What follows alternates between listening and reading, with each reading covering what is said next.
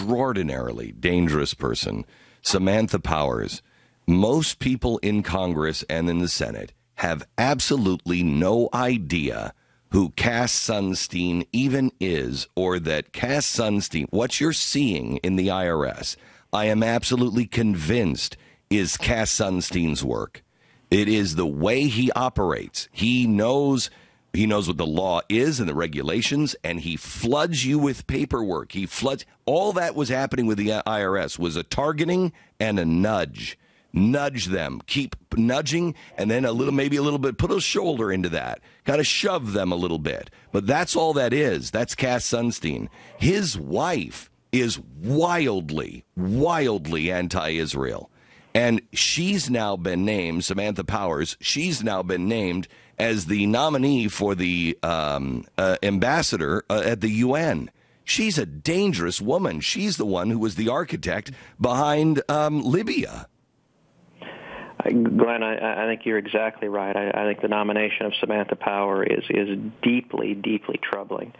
Uh, it, it follows a pattern of this administration, particularly in the second term. They seem to be seeking out in the foreign policy arena people who have been radicals, people who have been extreme, who have been far outside the mainstream. You know, she has publicly written, for example, you know, you and I both were, were quite vocal criticizing the pres- president for beginning his first term by going on a worldwide apology tour, by, by going to tyrants and despots and apologizing for the United States.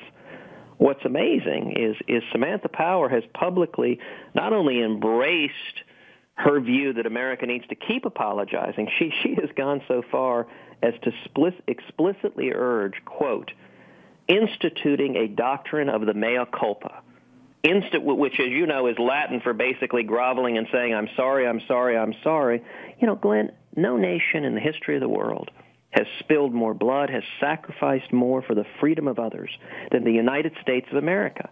And I don't understand what it is with these left-wing academics where they are compelled to constantly grovel, uh, you know, before tyrants like Castro in Cuba and, and North Korea about apparently their embarrassment about the United States.